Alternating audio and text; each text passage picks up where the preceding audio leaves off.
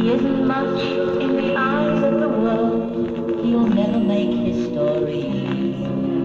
No, he isn't much in the eyes of the world, but he is the world to me. My dad.